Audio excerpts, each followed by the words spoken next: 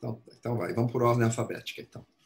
Então, meu nome é Alexandre Vidal Porto, eu sou escritor, eu é, sou funcionário público, eu moro em Frankfurt, a Alemanha, faz um ano. É, sou romancista. É, eu acho que um dos pontos centrais do trabalho que eu desenvolvo na literatura. E dos meus interesses mesmo é a sexualidade. E a sexualidade como elemento da identidade das pessoas. E, e, e mais ou menos é isso. Esse sou eu. Até onde eu entendo de mim. É, eu sou Pedro Costa eu nasci em Nova Iguaçu né? Mas também morei em Belém, em Natal durante muito tempo, em Salvador. Há 10 anos moro em Berlim. Nesses 10 anos morei dois anos e meio em Viena, na Áustria.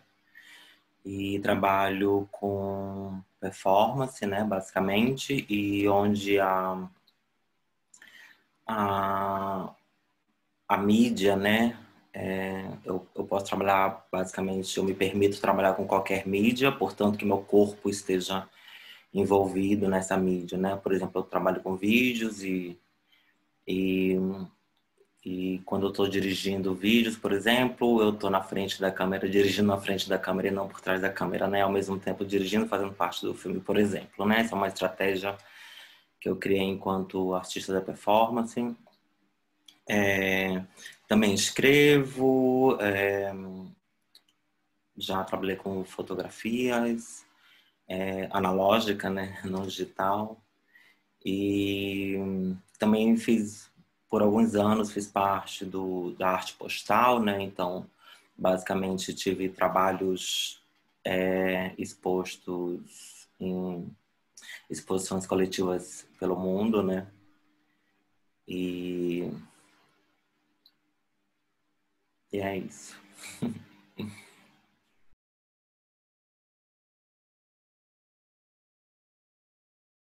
a essa questão é, do deslocamento. Eu, eu nasci em São Paulo, de família cearense, morei em São Paulo, morei em Fortaleza muitos anos, fiz faculdade em Fortaleza. E depois, é, é, pra, eu fui para a carreira diplomática, de alguma maneira, já para fugir de Fortaleza. Uh, e aí eu fui para Brasília, morei em Brasília, de Brasília eu fui para Nova York, uh, depois eu fui para Santiago do Chile, depois eu fiquei um tempo em Cambridge, em, nos Estados Unidos, depois eu voltei para Brasília, depois eu fui para Washington, depois eu fui para o México, depois eu voltei para Brasília, depois eu fui para Washington novamente, depois eu fui para Tóquio, depois eu fui para São Paulo e agora eu estou aqui em Frankfurt. É, ou seja, o deslocamento faz parte da minha vida mesmo. Quando eu estou num lugar há mais de dois, três anos, já começa a me dar um comichão e eu já começo a querer sair. É quase como se o, o, o ciclo das coisas que eu tivesse que, que realizar em cada um desses países fosse assim se completasse nesse período de dois anos tipo então dois anos é o que dois três anos dá para mim né? E se isso tem a, a ver com a minha sexualidade ou com a minha não é, heterossexualidade, totalmente, totalmente, totalmente. E eu acho, inclusive, se não tivesse tido deslocamento, eu talvez fosse um, um, uma, uma caricatura de mim mesmo, um personagem, uma versão triste de mim mesmo. Então, é, na verdade, o que aconteceu era que eu, eu, eu tem muito claro, eu tive já o sentimento de da minha homossexualidade muito cedo. Tem uma cena no Cloro, que, que é o meu último romance, em que o, o, uma criança de mais ou menos cinco anos sente prazer encostando a cabeça no peito peludo do professor. Essa criança sou eu. Essa memória é minha, pessoal. Então, para mim, foi sempre muito claro. E eu sempre tive desadaptado. Eu fui uma criança infeliz, eu fui um jovem infeliz.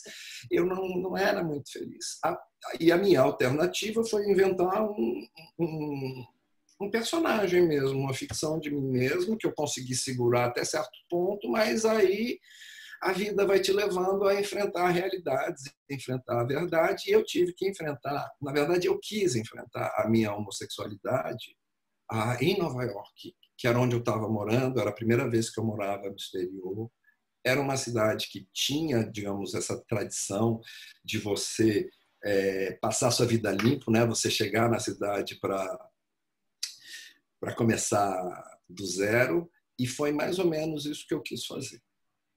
É, e, e, foi lá e, e, foram os exemplos de Nova York é, que me deram, que foram me dando força para aceitar, mas que, que nada, que eu não era do mainstream, o que eu era diferente e que diferente podia ser legal e que diferente podia ser possível e que diferente podia ser melhor. Então, é, é, é foi isso. Quer dizer, o deslocamento teve. A minha saída é, é, do Ceará teve a ver com a minha homossexualidade e a minha e o deslocamento é que possibilitou esse esse essa descoberta e essa nova essa digamos tirar a casca da cebola e chegar ao núcleo mineral de quem eu sou né então essa é isso que eu sinto e é engraçado porque a cada novo deslocamento, a cada nova cidade. Primeiro, eu não tenho sentimento de, de perda. É quase como se eu acumulasse. E é mais ou menos como se em cada novo lugar eu pudesse apresentar uma versão mais bem acabada de mim mesmo, sabe? Mais autêntica. Eu tento, assim, a palavra que eu usaria é melhor, mas melhor é, é, é relativo, né? Melhor para mim e melhor para mim tem a ver com mais honestidade, com mais uh, sinceridade, com mais verdade. Essa é, é, é o melhor para mim nessa minha, nessa minha busca pelo mundo. É... O deslocamento né, geopolítico, para mim, né, faz parte do, do, da minha história de vida e faz parte do, está é, totalmente imbricada, né? Conectada com a forma de eu criar meus trabalhos, né? Um, isso começou é, desde que eu nasci, né? Porque meu pai ele é de Pernambuco e, e ele a profissão dele foi ele foi da marinha, né? Então é uma pessoa que defendeu, defende, né, a, a época da ditadura militar, né? Então eu cresci dentro de um ambiente bem rígido, digamos assim, né? E muito difícil para uma pessoa que já nasce, é, eu vou chamar de queer, né? Porque é onde mais ou menos eu transito, né? Uma palavra que é, me ajuda a me entender melhor nesse processo, né? Enquanto uma pessoa que não se entende é, dentro de outras categorias, né? Ah, ou que transita entre outras categorias também, né? Não só. É, e desde que eu nasci, então, a gente tinha essa coisa que ele se mudava por causa do trabalho, né? Então a gente passava, sei lá, três, quatro anos numa cidade, ia para outra, né? Então por isso que eu morei em, em quatro cidades é, diferentes no Brasil, né? Três, né? Que é Rio de Janeiro, Natal e Belém, pelo trabalho dele, e Salvador foi pela minha escolha, né? Já não estava mais vinculado à família nuclear. É, e a questão de vir para Berlim em 2009, eu conheço o. Eu, em 2009 eu venho para a Europa, né? Mas fico em Berlim por 50 dias para fazer apresentações do meu projeto de música eletrônica, né, Solange Tô Aberta, que surgiu em 2006. Então eu tive essa oportunidade para vir em 2009 circular nos meios alternativos, né, undergrounds do movimento queer na Europa. E aí quando eu chego em Berlim eu vejo uma cena queer, né, assim, é, internacional, pessoas morando aqui, fazendo festas solidárias, é, fazendo festas em que elas mesmas organizam tudo, em que todo o dinheiro que entra é voltado é, entra e fica na própria comunidade, né? Pessoas com pessoas que a, a, a, as próprias identidades e, e formas de estar juntas, né?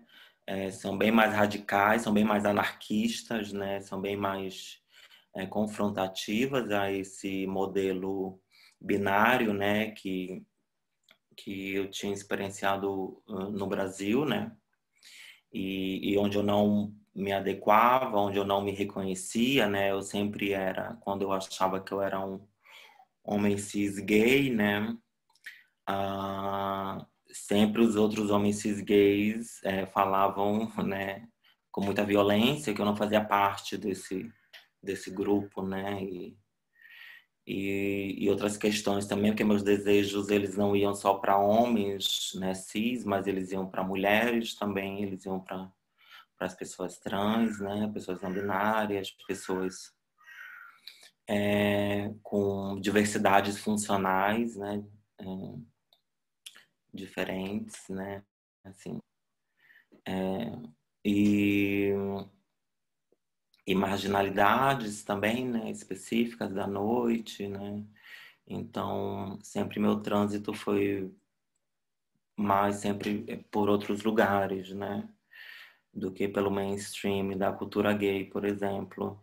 E depois eu voltei para o Brasil e em 2010 eu consigo, através de um trabalho que eu fiz, é, não trabalho de arte, trabalho um trabalho comum, eu vendi um apartamento e aí eu consegui uma quantidade de dinheiro que eu pude me jogar em Berlim, mas na verdade eu me joguei mesmo, não foi assim, não foi um grande planejamento, né? Eu no dia estava no Brasil, no outro dia já estava em, em Berlim.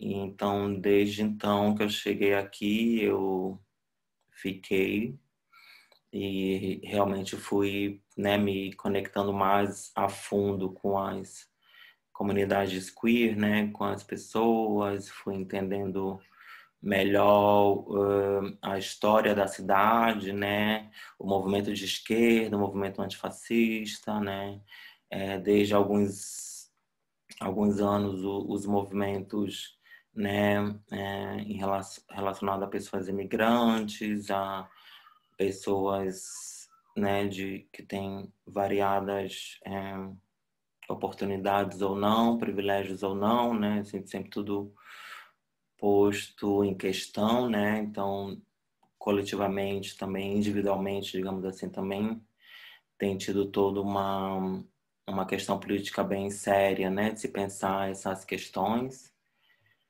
é, porque também já faz parte também um pouco da, da história da cidade e por onde também eu transito, né? E então foi uma cidade que, naquele momento, né, final do, dos 2010 ali, é, era um momento que eu estava buscando isso e que eu encontrei, né, de formas diferenciadas, mas eu fui encontrar com mais intensidade aqui em Berlim, né? Então, eu fugi, né, digamos assim, eu fugi do Brasil tive esse privilégio de fugir e tive uma tive pessoas que me receberam em Berlim, né, tipo de braços abertos e que me mostraram caminhos possíveis de viver, né, com pouco, né, digamos assim, no início, mas que era satisfatório para mim. Então, foi a para mim foi o foi a decisão certa a ser feita. Para mim também. eu não sei se a Pedra teve isso, mas eu acho que teve. Eu tive. e eu acho que a Pedra provavelmente teve também, que é quase uma necessidade de sobrevivência, sabe? Quase como uma ave migratória que chega um momento tem que que partir porque senão vai vai morrer de frio ou vai morrer de fome e você não tem muita opção. A opção dessa migração é, é quase um imperativo de sobrevivência. Você, você sentia isso, né?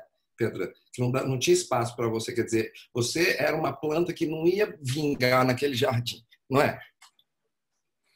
É, no meu caso foi bem assim. É, eu, porque como, como desde, desde que eu nasci eu já estava já, já, já tava acostumada né, a, a ficar três anos, quatro anos numa cidade, né? Então isso acabou fazendo parte de, da minha própria história, né? E eu morei. Natal foi uma cidade muito difícil, né? Natal uma cidade bem difícil mesmo, assim. É, claro que Belém não, claro que Salvador não, Rio de Janeiro também não, mas sempre tinha muito é, os conflitos, né? Porque meus trabalhos eles sempre eram categorizados, né? É, da, das piores formas possíveis e, e não reconhecido como arte, né? Não assim, quer dizer, as pessoas me chamavam após verem uma performance, né, minha ou experimentos de performance no início dos anos 2000, era muito comum que as pessoas, principalmente Natal, me chamassem de louca.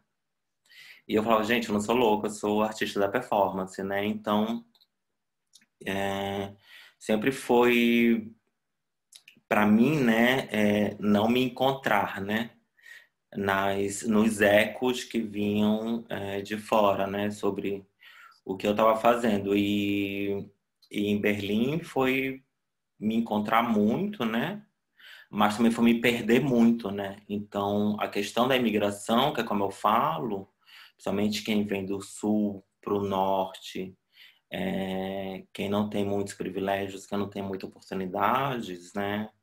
É, ou seja, vem com pouco dinheiro, sem nenhum dinheiro, vem sem direito de ficar, todas essas questões que estão, que fazem parte da imigração, né? Vem não falando a língua, né? Ou não fala nenhuma língua em comum da grande maioria, né? É, todas essa, essas questões elas são extremamente muito fortes né no emocional no mental então é, é, a gente a gente luta né eu acho que coletivamente individualmente né também para para que essa possa ser uma decisão de cada né de cada pessoa de cada é, grupo né é, se mover né sair de um lugar para outro, né? Mas na verdade é que ainda é, esse movimento migratório, né, como, como as aves, né, que as aves fazem isso por uma conexão com o planeta como um todo, com as estações do ano, né? Tem uma outra questão, nós fazemos por é, por essa coisa bem clichê, né, de melhorar de vida ou de se encontrar com grupos, né, ou de poder ter uma uma desculpa é, poder ter vivências né? É, é menos violentas né? Porque no Brasil eu acho que as vivências elas são muito violentas né? É, para é,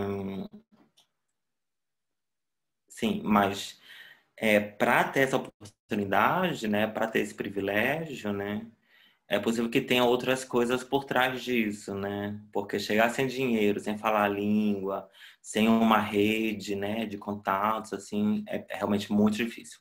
É.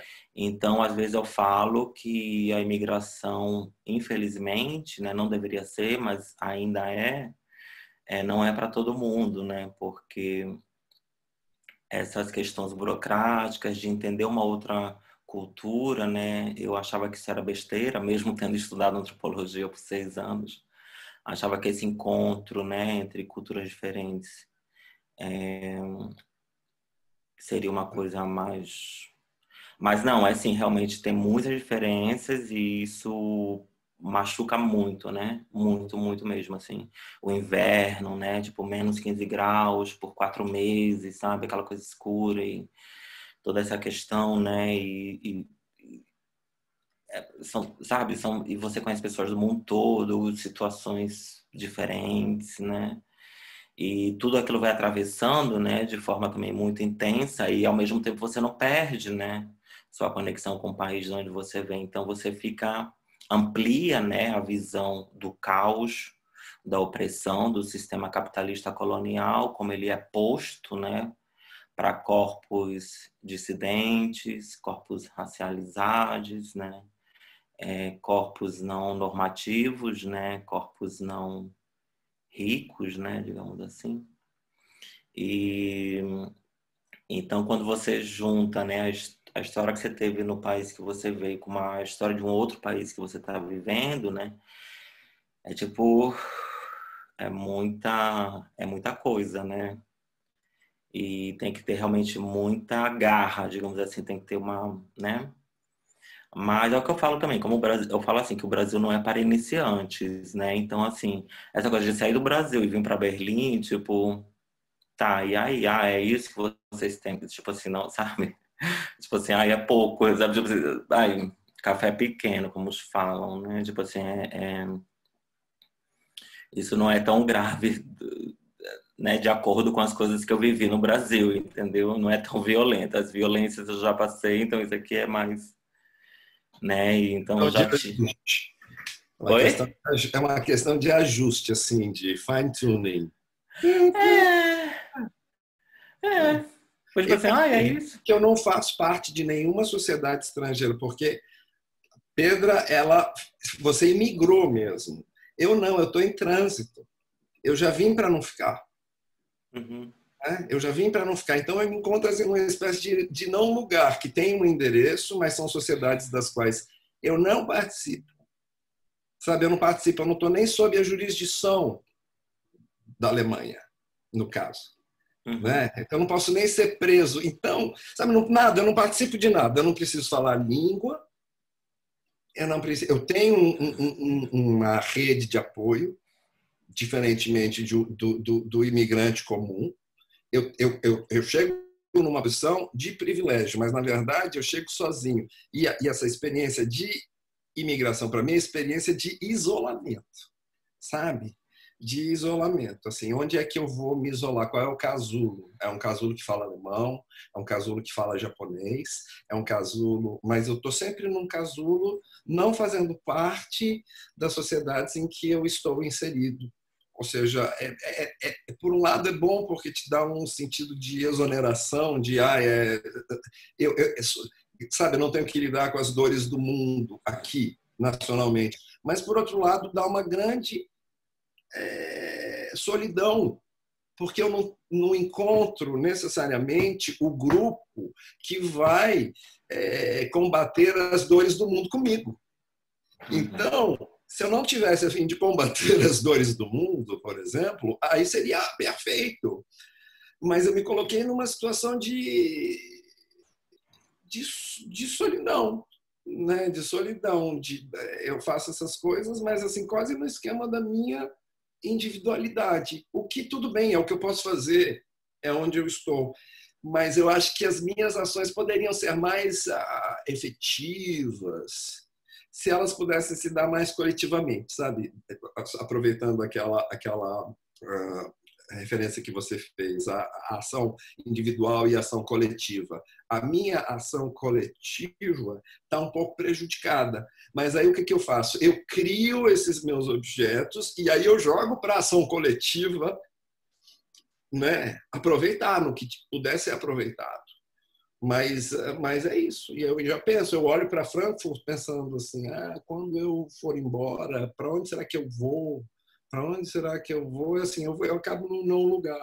Mas, é, na verdade, é um lugar meu, que é ruim, fundo. mas é onde eu me coloquei. Eu acho que a experiência da, da imigração, seja ela, né, a partir da sua experiência pessoal, ou seja, a partir da minha experiência, que são diferentes, né? É, ainda mais também porque a gente tem, um, um a gente tem um, uma diferença de 10 anos, né? Você, é mais ou menos isso, né? Eu acho. Você nasceu em que ano? Eu nasci em 78. Então, 13 anos. Três anos de. É, espera, é 65. É, eu nasci em 65, eu tenho 55, é. você tem 42. É, eu vou fazer 42. Quer dizer, quando esse, esse vídeo for, for ao ar, eu vou ter feito 42 há dois dias. É, é. Então a gente tem essa. Isso faz muita diferença, muita diferença. Pedro. Muita diferença, porque você nasceu no ano seguinte do, da ditadura militar. Eu nasci na ditadura. Eu nunca. Eu, no fundo, é, uma, é, um, é, um, é um tema que eu lido. Assim, eu nunca consegui perdoar os meus pais inteiramente por eu nunca ter sabido que a gente vivia num regime militar. E isso para eles não era importante, blá, blá, blá, blá, mas devia ser, sabe? Sobretudo quando você está criando filhos, isso devia ser importante. Hum. E eu tenho um certo ressentimento em relação a isso. Eu tenho um certo ressentimento que eles deixaram que eu ficasse louco atrás da figurinha tripla do presidente Médici para colocar no meu álbum Brasil 2000, que acontecia, sei lá, mais ou menos em 73 ou 72 sabe? A figu... Eu me lembro da figurinha do Jarbas Passarinho, ministro da Educação, e eu queria aquilo. E eu achava que aquilo era normal, que aquilo era. Eu tive que desconstruir tudo, sabe? E eu podia não ter desconstruído, eu podia ter continuado nessa ilusão, continuado a achar que isso não era importante.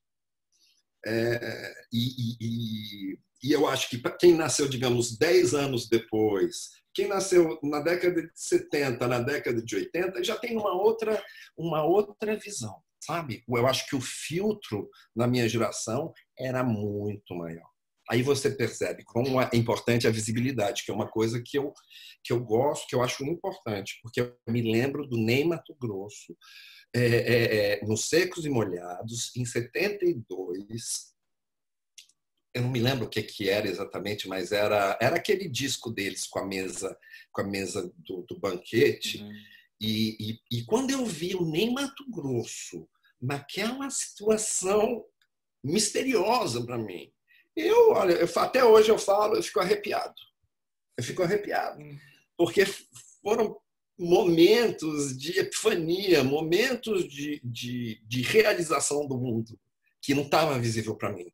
Então era assim, o, o Ney Mato Grosso aparecia na janela e eu via que tinha um que tinha mais, né? Que tinha além. É, eu não sei, eu, eu, eu, eu, funciono muito com a visibilidade. E no meu ambiente conservador, sobretudo, sabe? Eu resolvi que eu ajo nesses ambientes heteronormativos, eu tento me expor, sabe?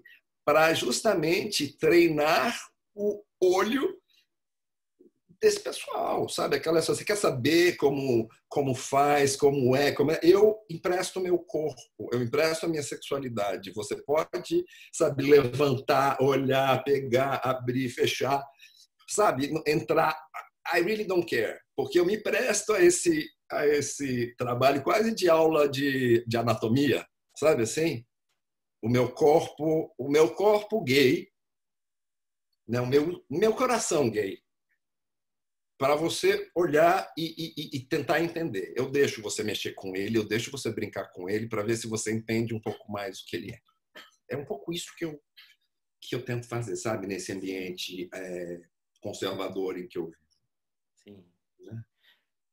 É, o, o, interessante, né? Porque eu já, com o trabalho que eu criei, que, que começa em 2006, né? Chamado Salão Estou Aberta, ele, ele já é uma é o que eu digo que é como um, um, um projeto que é uma ponte, né, entre quem nasceu sob a ditadura militar, né, né, que, que, que o, porque assim, quando eu tinha 12 anos, eu tinha uma amiga lésbica que ela tinha 18, a gente estudava na mesma escola, na mesma sala, e ela me levou, é, ela, ela foi me mostrar o que era ser bicha, né, o que era ser gay. E aí, tipo assim, mostrou vídeo pornô entre homens, né, cis, é, me, me apresentou pessoas que eu tinha 12 as pessoas tinham 25. Em que cidade era isso? Em que cidade era isso, Pedro? Em Natal. Ah. Em Natal, acho que mais ou menos em 92, 93, 92. e ela me apresentava essas pessoas é, que tinham 25, 30, 40 anos, né? Que eram é, gays, né? Lésbicas. E eram, tipo assim, ah, você é entendido, você é entendida, né? Essa palavra era, né, sabe? Tipo assim... E é, aí depois, anos depois, eu, eu me encontrei com a questão GLS, né? Que era GLS. Aí, tipo, vivia numa cidade em que sofria, obviamente, diariamente, né, dentro de é casa. Tudo eufemismo, você percebe? É tudo eufemismo. Você não fala assim, quer dizer, você, o mundo, o Natal não fala assim, ah, você é entendido, você é GLS, é tudo por, por sabe, por código, é, é, é não, então, é interessante. Eu sentia isso porque... em Fortaleza também, sentia isso muito em Fortaleza. E eu acho que Fortaleza e Natal são duas capitais, eu acho que são uma, é uma unidade cultural ali, eu acho, Rio Grande do Norte e Ceará. Sim. Sabe, o pedaço Rio Grande do Norte, o pedaço oriental do Rio Grande do Norte já vai mais para Paraíba, mais, mais Natal, Mossoró, Caicó, essa linha ali, é, é, culturalmente é igual. Eu acho, eu acho Natal bem específica, né?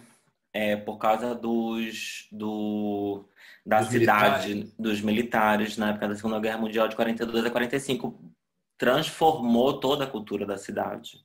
Então, acho o Natal do, das cidades do Nordeste uma cidade muito específica. Assim. Acho que tem pontos que você pode entender assim, por causa dessa, dessa intervenção violenta né, que teve por três anos, né, homens cis norte-americanos na cidade, que foi um terror, né, por um lado.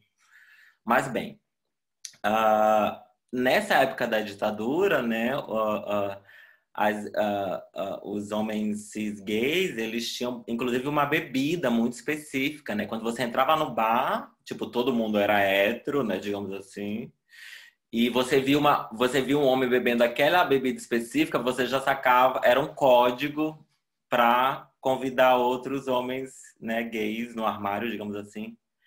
Então, então... A marca identitária. A marca identitária era o drink que você tomava. Era o drink, que era Campari com não sei o que, me falaram, mas eu me esqueci. Não, mas eu acho que o importante é que fosse vermelho.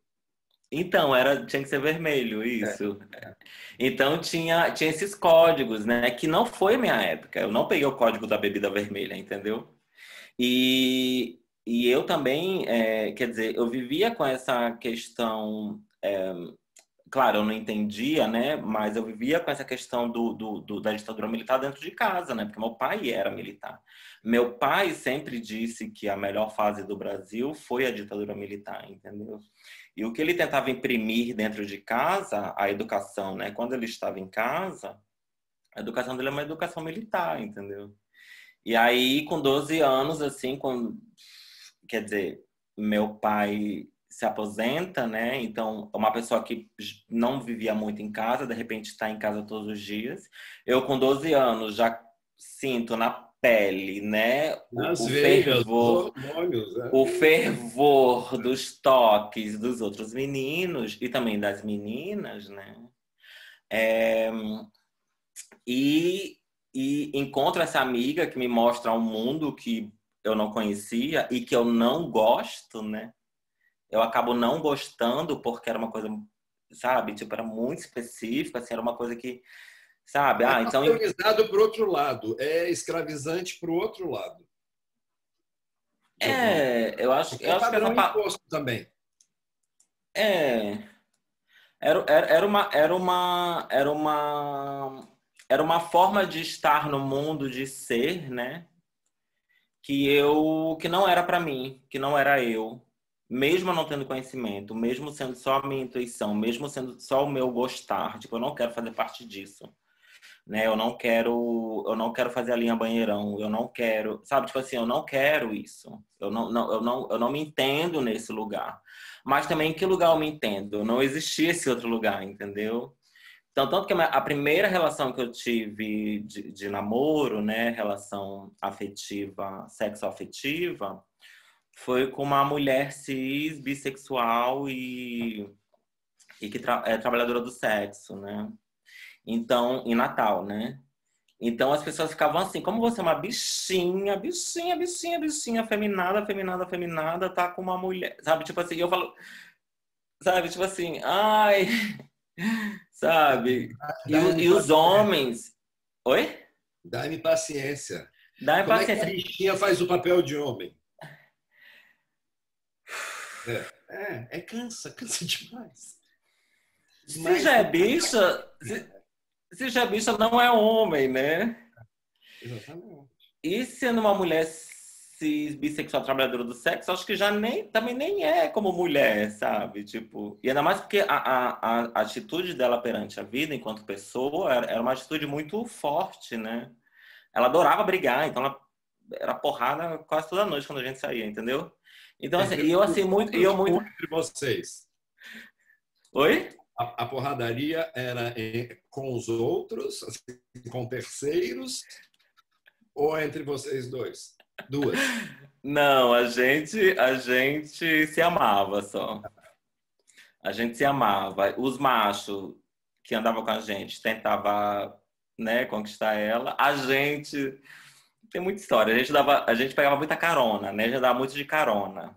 Ia pra rua, metia o dedão na rua, pá. E aí é, a gente tinha um jogo, né? Então é, a gente, quando parava um, um, homem sozinho, a gente entrava e esse homem acabava pagando as coisas pra gente, pagando bebida, pagando as noites, assim, não sei o que. Depois a gente se mandava, né? Então tinha todo uma, quer dizer, então sabe, eu não comecei assim tendo uma relação, digamos, é, normativa, sabe? Ah, primeiro pega na mão, duas semanas depois dá um beijinho na boca. Não, já foi assim, já foi, sabe? Tipo, vamos que vamos, entendeu? A experiência é completamente distinta da minha. Sabe como foi a minha? Porque é o seguinte, eu tive muito claro, muito cedo, a noção de que eu era gay, né? Me chamaram de bicha e bicha fez sentido com o que eu sentia, entendeu? Assim, eu, eu, eu, assim, eu sou bicha. E eu fui falar em casa que tinham me chamado de bicha, mas sem grande drama. E o drama se armou em casa, não que foi uma coisa assim, sabe, um certo um constrangimento e mal-estar. E ao longo da minha vida inteira eu não podia ser bicha. Porque se eu desmunhecasse, se eu até assim, até palavras que eu escolhesse, eu tinha uma certa censura. Sim. Sabe? Então eu passei anos e anos e anos e anos e anos me controlando. Assim, quase que estivesse usando um sapato número 36, tendo um pé 42, hum. sabe? E querendo que o meu pé diminuísse, e querendo que o meu pé coubesse nesse sapato, só que isso não ia acontecer, nunca. Aí eu, eu entendi que eu preciso, que, digamos, que eu ia para um para uma situação mais arriscada, né? Ser diferente é difícil, é perigoso, é arriscado, dá medo. Então, eu armei toda a situação de estabilidade.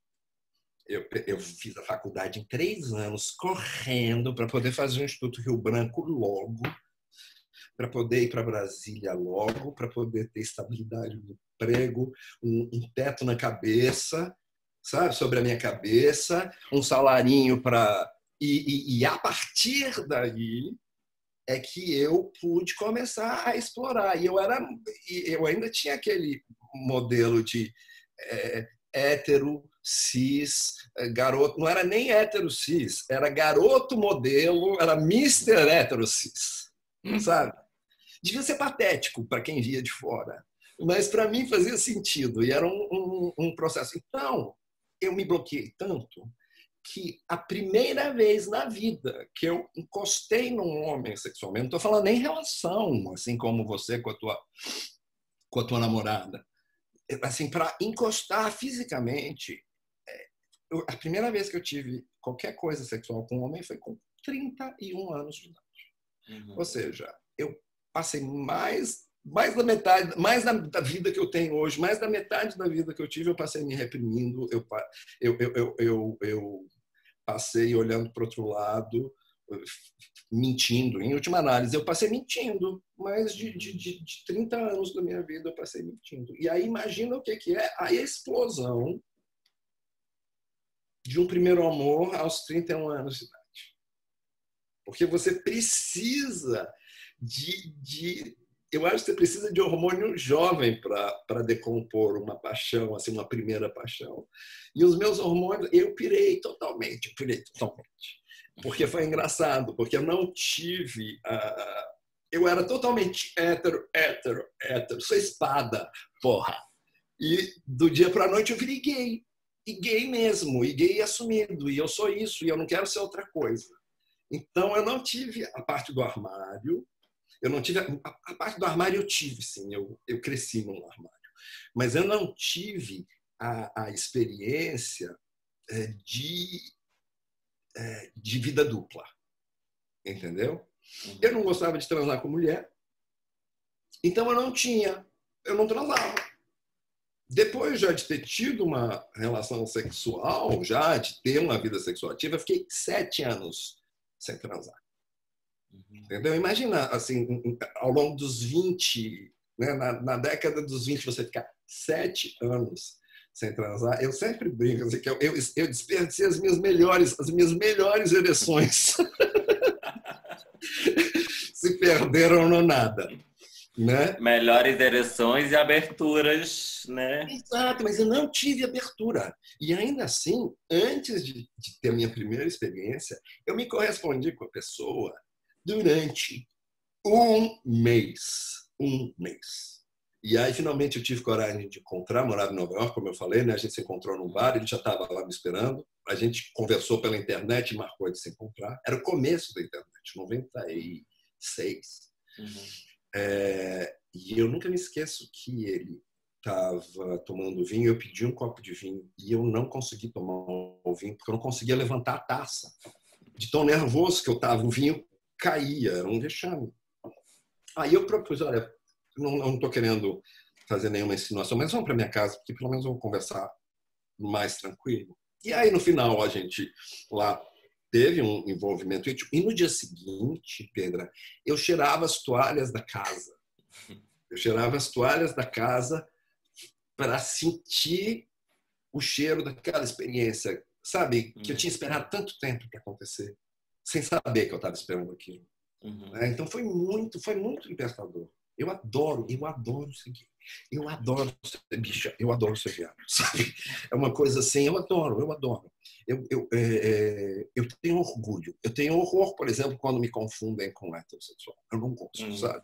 Eu sei que é uma coisa que fala mal de mim, uhum. na verdade, mas, mas eu acho que eu demorei tanto tempo para criar essa minha, para descobrir essa minha identidade, que para mim é tão óbvia que eu queria que ela fosse uhum. óbvia para todo mundo também. Uhum. É.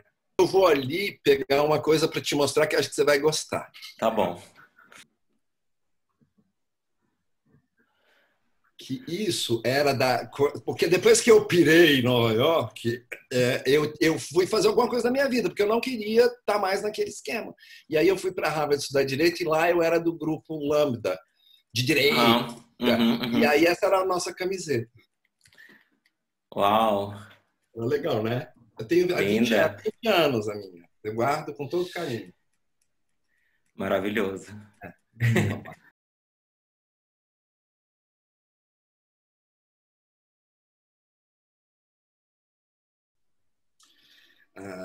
então, é a história dos, dos, dos, corpos, digamos, não normativos, né? Na nossa obra.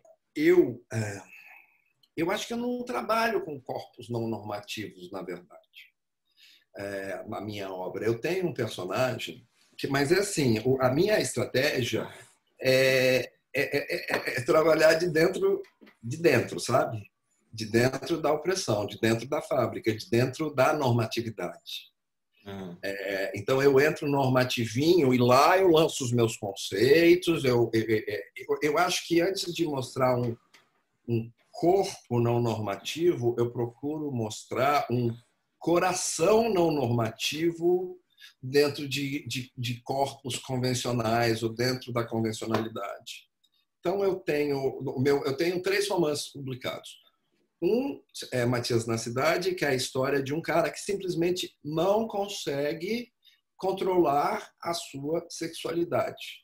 Ele é priápico, ele trepa com todas as pessoas que ele conseguir trepar. Entendeu? Agora ele é um advogado, todo estabelecido na vida, com um carro com um banco de couro e etc e tal, e ainda assim ele tem uma individualidade, uma subjetividade sexual muito forte. No caso, e isso é possível, entendeu? Não é porque você está dentro disso que você pensa necessariamente assim.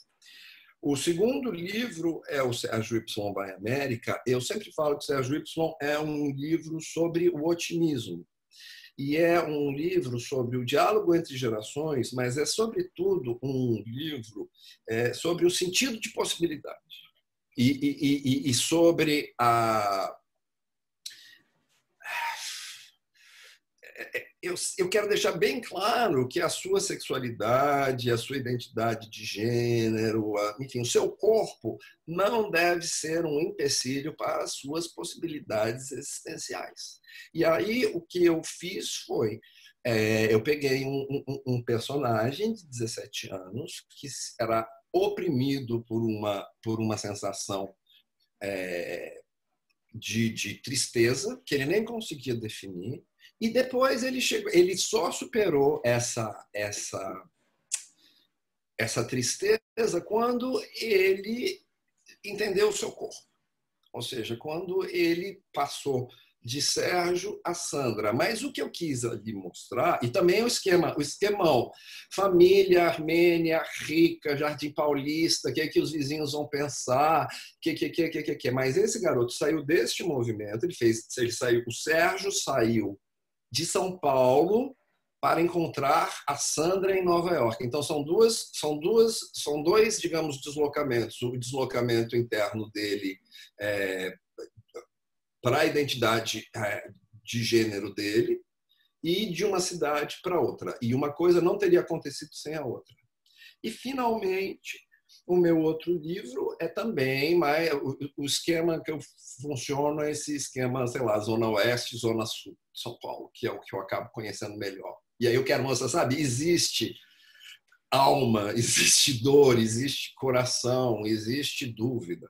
E por último é esse, esse Cloro, meu último livro, que é um gay no armário. É o, o personagem que eu poderia ter sido e não fui.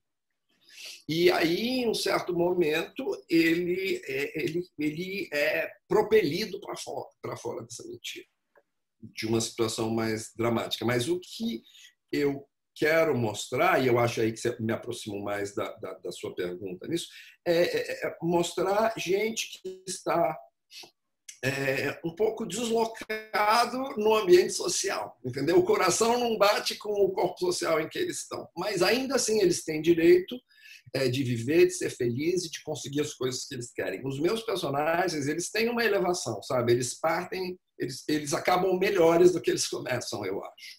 E isso tem muito, em, isso vem muito em função da busca e da expressão e da afirmação da sexualidade de cada um deles. Então, é, na minha obra, eu acho que esse, essa sua pergunta, ela ela se encaixa nesses termos. Esse movimento de, de, de imigração é um movimento de sobrevivência, seja para quem está fugindo de bomba, seja para quem está tá, tá fugindo da ignorância, do desamor. Mas, é, mas o caso é, eu tenho de sair daqui para continuar vivendo. Aqui não vai dar, aqui eu vou morrer. Então, ou é tudo ou é nada. Né? É, é, é um pouco. Mas aí a gente volta para a questão do, do deslocamento o que não é exagero, a gente já, já, já falou disso. É, é isso, eu, eu, eu, quero mostrar a subversão invisível. Essa subversão ou essas alternativas existenciais dentro do mais convencional, sabe? Ninguém está a salvo disso. Ninguém é isento disso. Isso acontece. Isso é uma manifestação humana. E a manifestação humana acontece em qualquer lugar, acontece Zona Oeste, na Zona Sul, na Zona Norte na Zona Leste. É, e, então, eu mostro é, que em lugares menos. assim, lugares insuspeitos, isso também acontece. E está lá, e não adianta negar, porque é do humano. Eu. Minha vez. Yes. Alright. Uh, é, eu começo a, a, a, né, desde, desde muito pequena, assim, que eu tive contato com algumas questões artísticas, né? É, através da minha mãe, né, que fazia uns artesanatos, umas coisas assim, tipo uns bolos decorativos para vender para festa de aniversário, então é, e meu pai também que foi músico e maestro, né, da banda de fuzileiros navais. Então e depois na escola eu gostava muito da escola, gostava muito de estudar, né? E aquilo me dava muito prazer e tinha muito a questão do da escrita, né, da, de ler livros, né, livros assim, né, histórias infantis, né, no início da, da leitura, né. E depois na adolescência também isso foi vindo, né, ficando mais se aprofundando até eu chegar há mais ou menos 25 anos atrás, quando eu pisei a primeira vez num palco de teatro, né, lá em Natal no Teatro Alberto Maranhão, que é o teatro maior e mais né, é, famoso, assim, mais antigo também da, da cidade. E foi muito interessante, porque todas as questões da. Enquanto no, no dia a dia, né? Eu estava sendo chamada de bicha, é, desde a minha primeira memória de vida, que foi um ser chamado de bicha pelo meu pai dentro de casa, né? E isso basicamente nunca parou, né? Desde ter que trocar de escola, porque as outras crianças, no primeiro ano de escola, eu tinha cinco anos, as outras crianças me batiam, me xingavam, meus pais não entendiam e foi um terror, né? Mas assim, passando por todos esses processos, com 16 anos já estava assim, de saco cheio, já estava de saco cheio da humanidade. Por mim, o planeta acabava ali, entendeu? porque eu entendia que a gente não tinha dado certo e não ia dar certo. E eu tive que trabalhar muito, né, para estar tá aqui, né, hoje, ainda assim, né, dentro dessa questão do da esperança ou de, né. Bem, um, e aí quando eu pisei no palco, né, que no final vem todo vem todo o grupo, né? Tipo é, para receber os aplausos da, da plateia e eu gostei muito daquilo, né? Eu me sinto até um pouco como Cláudia Wonder no documentário no documentário Meu Amigo Cláudia, né? Que o Dácio Pinheiro fez, lançou ele. É, que ela fala assim, ah, quando eu recebi os aplausos, eu adorei aquilo. Eu me sinto muito a Cláudia Wonder, que eu conheci, tive uma intimidade com ela, afetiva, de amizade. E eu, eu me sinto muito conectada nisso. Quando eu recebi os aplausos, eu falei, gente, mas como assim, né? Toda essa potência que eu tenho de vida, né? De, eu, eu coloco no, no, coloquei no personagem, né? Quer dizer que é basicamente uma coisa que eu vivo no dia a dia. Lá fora, eu, as pessoas tentam me bater, me matar, me cuspir, me prender, né? Me parar, é, me rejeitam e etc. E aqui dentro, é, isso é potente. Isso é tão potente que todo mundo se levanta e aplaude, entendeu? Aí eu falo, não. Mas ali é coisa... feio, né? Você encontrou os cisnes, você se entendeu o cisne no pau. Eu falei, gente, não, eu quero isso, quero isso para mim, né? E aí, claro, eu fiquei mais ou menos 10 anos nesse processo de aprender coisas, né? De... Era Natal, né? ali por 95, 96, mais ou menos. Quer dizer, não tinha curso de teatro, não, não, não era uma São Paulo, né? Era uma Natal. Então não, não tinha, não tinha um teatro oficina, sabe? Não tinha, não tinha, não tinha internet, né? Não tinha nada digital, não tinha grupo do movimento LGBT, né? Uma ONG, não tinha, tipo, não tinha acesso a muitas coisas, né? Que já estavam bombando no mundo, no norte global, né? De movimentos, né? É, e, então, eu realmente eu não sei onde, onde eu começo a.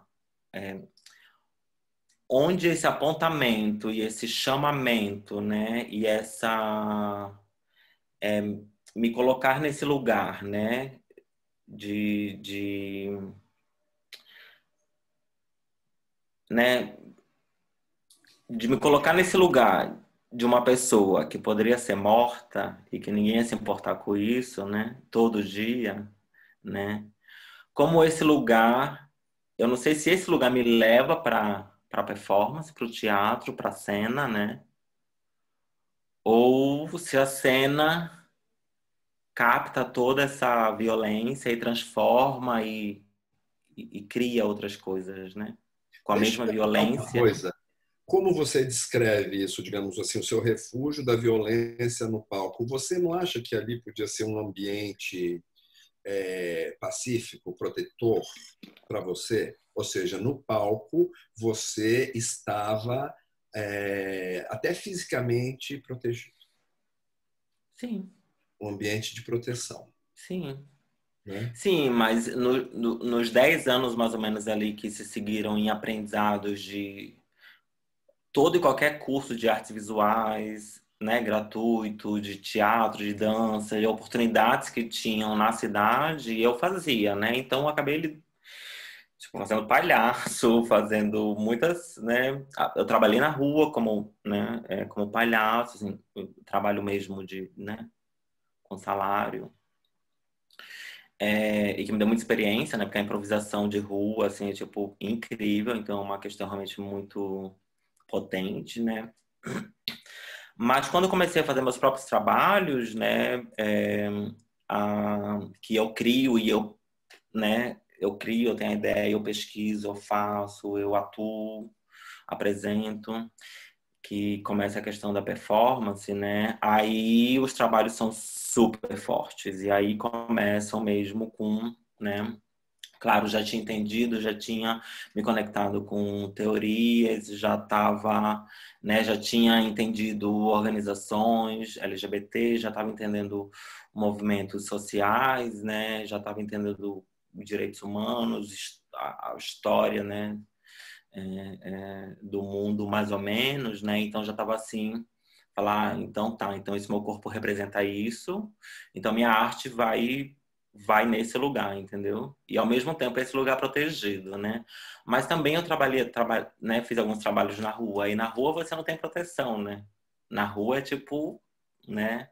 Mas ao mesmo tempo tem a proteção de ser artista, né? E é um trabalho de arte. Não é uma bicha, não é só uma bicha, é um trabalho de arte, né? Então tem uma certa desculpa, assim, ah, é a arte, então, né? O que não tinha, o que não tinha essa capa de proteção, digamos assim, né? da arte, quando você é daquele lugar. Mas mesmo nesse lugar da arte, eu recebia muitas, muitas... Ataques. É, muitos ataques, sim. Muitos ataques. Né? Tipo, é, ameaças de morte, né? É, a própria... Muitas pessoas da comunidade LGBT dizer que é, eram por causa que pessoas atacavam LGBTs, que era por causa de pessoas como eu, de pessoas que faziam os trabalhos que eu fazia, que a, a comunidade LGBT não era não era reconhecida de forma séria. Então, assim, o que que eu, o que que eu tinha que fazer num lugar como esse, entendeu? Eu não tinha mais nada para fazer num lugar como esse. Cai fora, cai fora. Sabe? É, eu sou otimista quanto ao futuro do, da queerness, ou da aceitação da queerness, se você. Porque, olha, eu que sou mais velhinho e tenho uma experiência, as coisas que a gente vê hoje, o, o, o, basicamente as coisas que a gente vê hoje, elas não eram visíveis há, uhum. há 10 anos. E a gente não estava discutindo as questões eh, de gênero, a gente não estava discutindo. Por exemplo, coitado dos, das crianças é, trans ou não binárias, as crianças, entendeu? Hoje você, claro que não existe, que, que o mundo é totalmente imperfeito, mas você já começa, essa questão já começou a ser aberta. Como eu acho, por exemplo, essa questão de, da homossexualidade cisgênero, é, eu, eu, eu não tenho nem problema com isso. Eu acho que assim só depende de nós, porque culturalmente já é um dado da realidade. As, os jovens, a quem, vem, quem vai estar adulto, quem vai estar votando daqui a 10 anos, não tem um problema com isso. Já desproblematizou, eu acho, grande parte. E, e eu acho que, que essa questão dos, do, dos corpos e sexos uh, dissidentes também vai na mesma linha. Se você pensar que você tem é, séries na Amazon, sei lá, tipo Transparent, ou você tem a RuPaul Drag Race, ou você tem essas pessoas que você não via, que você via na marginalidade e hoje em dia você não vê mais. Então, eu, eu acho que essa, esse esse processo de, de reforma cultural ele já é irreversível, eu acho. É, agora, como já disse alguém, o preço da liberdade é eterna vigilância. Por isso é que todo o espaço que a gente conquistou e vai conquistar ainda tem que ser assim brutalmente defendido, sabe? Uhum. Assim, é, brutalmente. Então é assim, porque as coisas também sempre podem degringolar, né? A gente sabe disso. Então a gente não pode degringolar. E, esse, eu, e eu acho que, que, que o futuro vai ser mais gentil para a gente do que foi para os nossos antecessores. Mas a gente tem que mostrar a nossa cara bicha. E, e, e mostrar que nós somos e nós uh, temos e nós podemos e, e, e, que, e que não, e não venha moralizar, não venha valorizar, não venha encher o saco. Porque, como se diz, é uma coisa meio clichê também, mas, mas tem muita força. E para mim é uma coisa que we are queer and we are here. E não queira fingir que a gente não existe, que a gente existe, a gente tem direitos e a gente faz parte e a gente contribui. Entendeu? Então não venha encher o saco, não. Tá? Basicamente é isso. É, eu, eu, sou muito raivoso com isso. Eu posso me tornar extremamente agressivo até. Porque eu, eu acho que. Acho não, eu sou capaz de morrer. Isso. Eu, eu, eu, eu sou capaz de morrer assim, de numa passeata, numa briga, numa, numa defesa, digamos, numa autodefesa ou numa defesa de outra. Sabe? Para mim não tem nada mais importante. Nada mais importante, porque a minha vida não faz sentido se não tiver isso. A minha vida não faz sentido se eu não tiver uma identidade que é que faça sentido para mim, né? Então é isso. Para ser quem eu poderia ter sido, eu prefiro não viver. Eu prefiro não viver. Eu prefiro me entregar em holocausto a uma luta que vai ser vencida, se não agora, mais adiante. Mas é importante que nós né, para quem não havia espaço, para que, que, esse espaço seja mantido cada vez mais. Eu tenho, eu tenho, eu acho que, por exemplo, se mudar a, a presidência nos Estados Unidos agora, isso já, eu acho que vem assim um, um, um refluxo, sabe? É, porque o que se fez nos Estados Unidos agora foi uma perversidade, é, é, é sobretudo para os transgêneros, assim, exclusão de serviço militar, exclusão, exclusão, sabe? Porque não é para excluir, porque a razão da exclusão não é justificável, não é, sabe? A, a gente não pode esperar a gentileza de quem nos odeia. Agora, a novidade é Pode odiar, só não venha encher meu saco. Pode odiar em casa, pode odiar nos seus diários, pode odiar na sua vida pessoal, mas esse é seu problema seu. Esse ódio é problema seu. Não me venha trazer ódio para minha vida, porque não cabe ódio na minha vida. Sabe? Eu não quero seu ódio. É aquela coisa, a janela vai estar fechada, né? Não vai ter a brisa, mas a gente faz o quê, ó?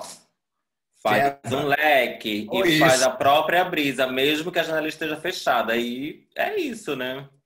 Porque também não é, não é só não é só Estados Unidos, né? A gente tem que ver que tem países, muitos países no mundo que é pena de morte, né? É, mas tem uma pessoa LGBT. Então, assim, então não é assim, acho que eu não sei, eu acredito que eu não vou estar viva para ver é, todos esses países realmente Pedra, quem estava viva 20 anos atrás, quem estava viva 20 anos atrás e falasse, é, é, é, é, sei lá, tem um transgênero na, na novela das oito, assim, eu acho que eu não vou viver para ver uma transgênero na novela das oito. E, e, e, viver sim, você vai viver sim, viu? Pode esperar, porque tem tudo para viver, tem tudo para esse processo. Eu acho que é um processo bem resolvido, sabe? Na, na, na geração. Agora, claro, você achar que a situação está resolvida para sempre é uma fantasia, porque se você pega Estados Unidos, Europa Ocidental, ah, você, digamos, tem dínamos da mudança. Isso vai acabar chegando em outros países, né? Mas claro que a vida é agora. E enquanto não chegou, a vida para quem não está nesse centro é uma vida infernal, é uma vida arriscada. Né? Uhum. É, mas é, é, é, por isso que é importante a visibilidade. Para quem estiver na Arábia Saudita ou para quem esteja na Nigéria, sabe, olhar e falar assim, não, sabe, é possível. Essas pessoas estão erradas. Essa opressão não não se justifica. Eu não mereço essa opressão. Porque, no fundo, o discurso todo é de desumanização. Por que, que uhum. você merece a opressão? Por que você merece a porrada? Por que, que você merece a injúria, o xingamento? Porque você não é humano, você é subhumano. Veja, a sua forma não é humana. Você não, não se. É quase como se fosse uma mula, sabe? Você é um híbrido. E, e não é isso. E, e a importância da gente afirmar a nossa humanidade. E afirmar a nossa humanidade. E a partir daí é isso. E você afirmando essa humanidade, a gente cai na teoria mais básica dos direitos humanos, que os direitos humanos são inatos. Basta você existir para ter. Né? É, então, mas essa questão do, do, do ser humano e do, do, dos direitos humanos, né, a gente, quer dizer, são para a própria, a própria né, muitas pessoas, principalmente vêm da, da, da, reflexão da teoria queer, né, que essa questão do, de ser humano não é para todas as pessoas. Quem tem né, a possibilidade de ser humano, não são, né, quem tem, quem é passível é, é, é do choro coletivo, né? Então, assim, a, a, a gente tem, a, né, tem outras questões que perpassam, né? O próprio movimento negro trouxe, trouxe a questão da interseccionalidade, né?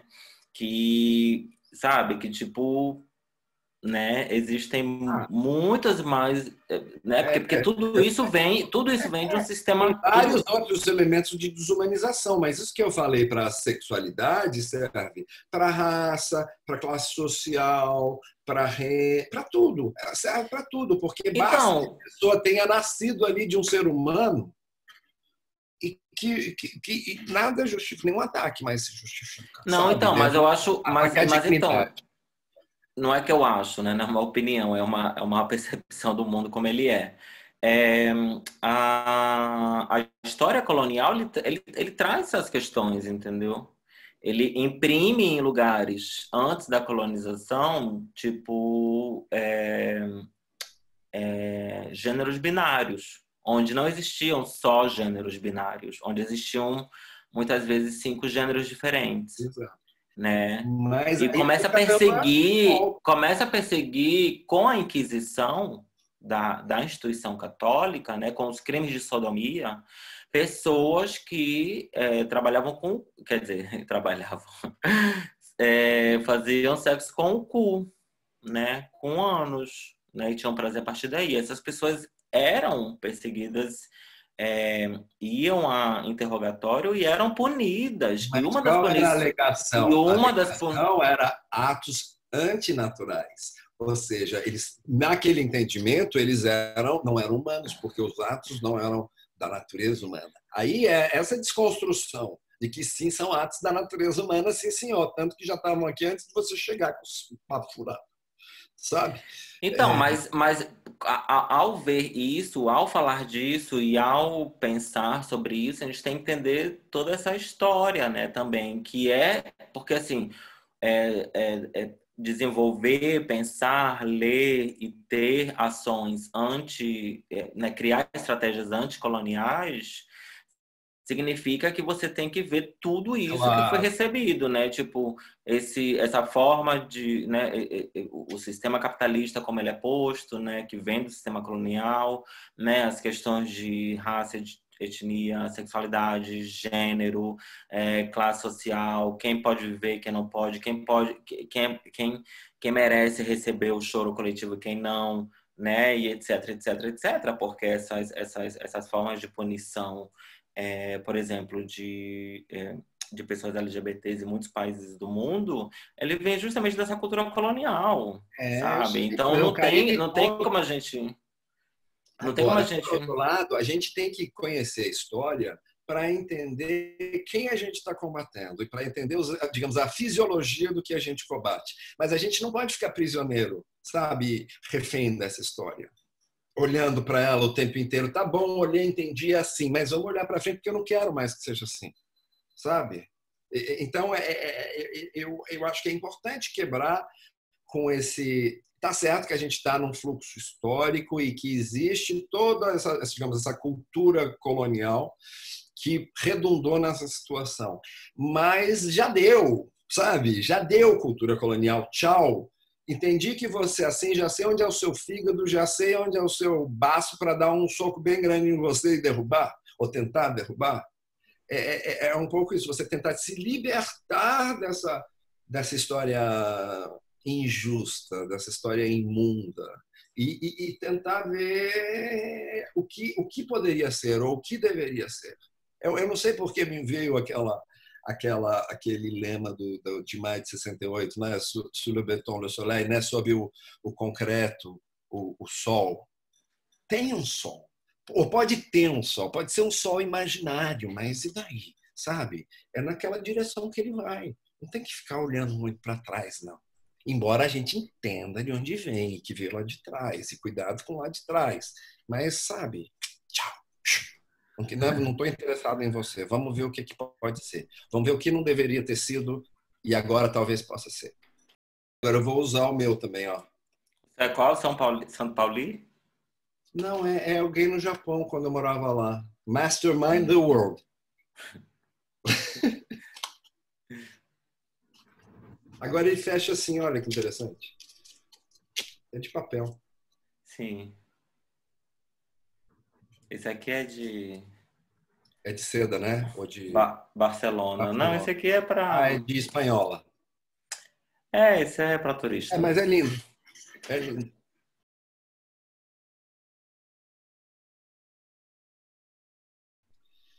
Olha, é, para mim, pessoalmente, é, tem um aspecto, tem um, uma expressão em hebraico que chama ledor vador, que é mais ou menos de geração em geração.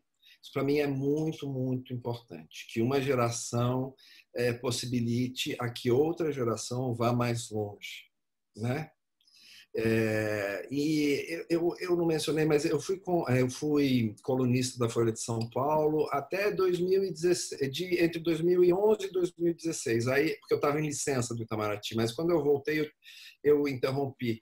Mas todas as colunas que eu escrevia, eu pensava é, e na verdade eu não estava só, eu não escrevia só sobre temas LGBT, eu escrevia sobre vários temas, mas eu sempre queria incutir na cabeça de, assim, meu leitor modelo era um garoto de 16, 17 anos, uma pessoa de 16, 17 anos, é, que tivesse começando a tomar conhecimento do, desses conceitos básicos de ciência política e entender que ele pode ser agente do processo político, mesmo da casa dele e etc né? E que, no caso, a orientação sexual não deve ser nenhum empecilho para isso, não te inviabiliza em, em absoluto.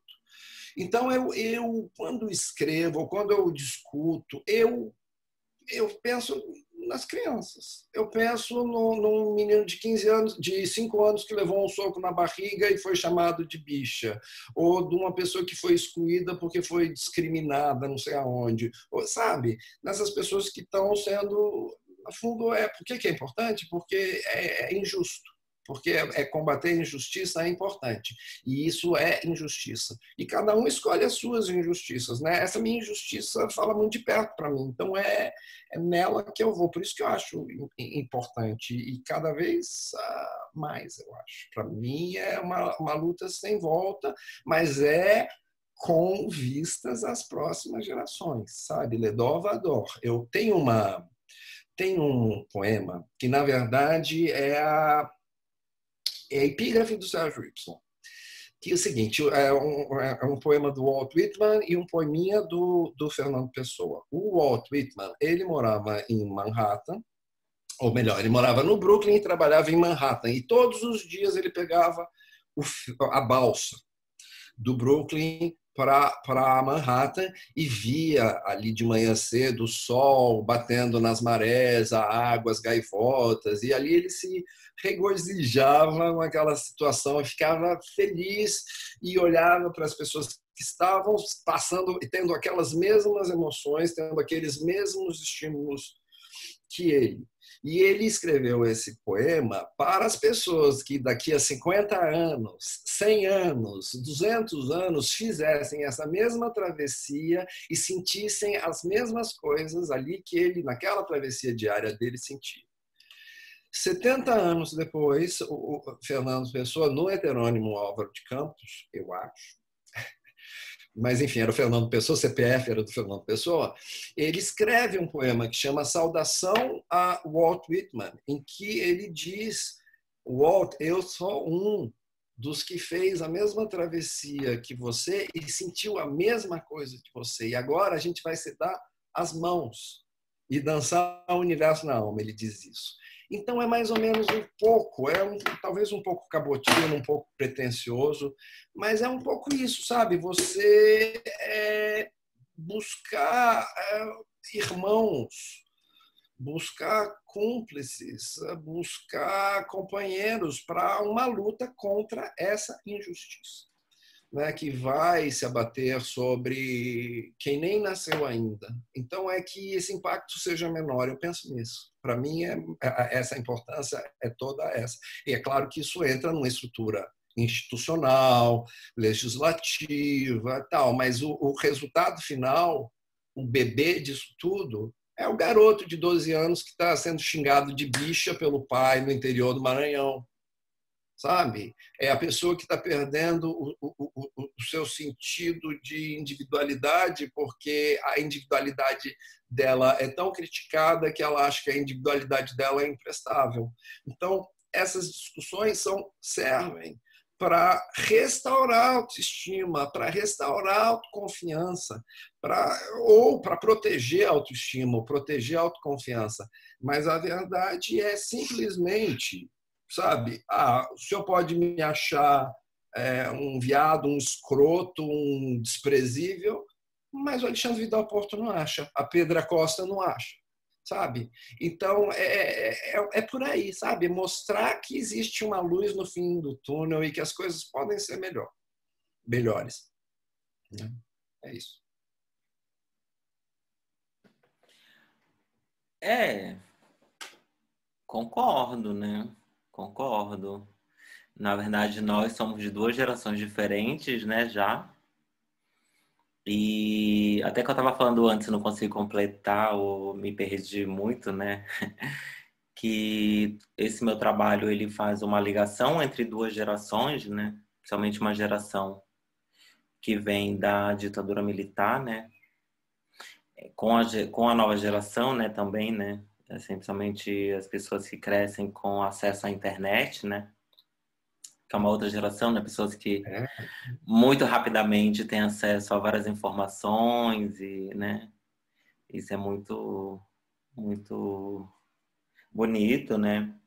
Mas eu acho que o tema, né, que a gente está tratando aqui, que parece que a gente nunca vai parar de falar, é, é o que eu sempre entendi, né, que eu acho que são abrir espaços de sobrevivência, que é, na verdade, o que você disse, né, Alexandre? É abrir espaços de sobrevivência, construir né, espaços, né, que as pessoas possam ser, possam se entender, né. Por exemplo, em Berlim a gente atualmente vê hoje é, nas escolas, né, você tem assistentes sociais que trabalham com adolescentes, né, e que adolescentes de 12, 13, 14 anos começando a transição de gênero, né, tomando bloqueadores de hormônios para depois começar a tomar hormônios, né, em que toda a escola, em que a, né, a família, assistentes sociais, né, está envolvida nesse processo. Então é um processo coletivo, né? É um processo de transição coletiva, né? Tem uma eu tenho uma amiga muito muito muito linda, né, com o trabalho que ela faz, a Lia Garcia do, do México. Ela, ela, ela traz a questão da, da transição dela como uma transição para ser celebrada coletivamente e com muito afeto, né? porque a gente sabe que a transição é, é muito difícil, né? Assim, questão dos hormônios, de você não tem acesso a laser, por exemplo, né? A laser o Relatório. Sim, ou a própria depilação para algumas pessoas, eu não tenho mesmo acesso aos hormônios, ou, ou, ou realmente não tenho acesso nem à família, né? nem à escola, nem a nada, né? Então... É, mas mais que tudo, é você fala de família, é que às vezes, e eu acho que no final é, você não tem acesso ao afeto. Você é. não tem você não tem acesso à admiração, você não tem a, a, a, acesso a um espelho que te reflita de uma maneira bonita. Hum. E, e, e eu acho que é um pouco para isso que a gente trabalha, sabe, né, Pedro? É, e dizer também que não vai ser fácil, né? Não vai ser fácil, não está sendo fácil, né? É, no Brasil, né? Assim, acho que tem muita coisa para se rever na história do, né, desse país, dessa, desse, desse território chamado Brasil, né? Tem várias coisas para se rever em vários âmbitos, né? Que está sendo revisto, né? Porque senão isso vai voltar a acontecer sabe? Isso vai voltar a acontecer. Mas a história eu... se repete como farsa. A história se repete. Tipo assim, quando eu, vários trabalhos, eh, um outro trabalho de performance que eu fiz no Brasil, ou, ou, ou uma outra, algumas manifestações, como por exemplo, eu estava nos eu estava na comemoração dos 500 anos do Brasil no, no em 2000 em Coroa Vermelha, no, no interior da, da Bahia. E a gente viu, para mim ficou, assim, para mim foi com muita lucidez que eu entendi que a ditadura ainda estava operante, sabe? Então, assim, então é esse tipo de, de, de compreensão, né? É, que a gente tem que ter também para poder ir para outros lugares, né? Para ir para além disso. Mas se não tiver, acho que os grupos, as comunidades, as pessoas juntas mesmo, sabe? Uma, né? Indo pelas pelas lutas das outras pessoas, né? Tipo, se a gente normalmente não for junta, vai, sabe? Porque a extrema direita, os fascistas, eles são muito bem obrigados. Eles estão muito, eles são muito conectados entre eles, né? É, e, e a gente, né? A gente é, a gente consegue ir além, né? Mesmo de de de nossas histórias para poder, né? Tem aquela música do, do, do Pink Floyd, do, do The Wall, em, que, em alguma fala assim, ah, together we stand, divided we fall. Juntos a gente se mantém, hum. divididos a gente cai. E é um pouco isso, e a gente sabe que, que, hum. que tem quem queira derrubar, sabe? É. Então não chega perto de nós, né? Não chega perto de nós que que vai uma voadora na cara, uma voadora no peito. Eu penso nesses termos. Eu não tenho um pingo de intolerância, de ah. intolerância, intolerância. Não quero entender, não quero, não quero, uhum. não quero sumam, desapareçam. Uhum. É.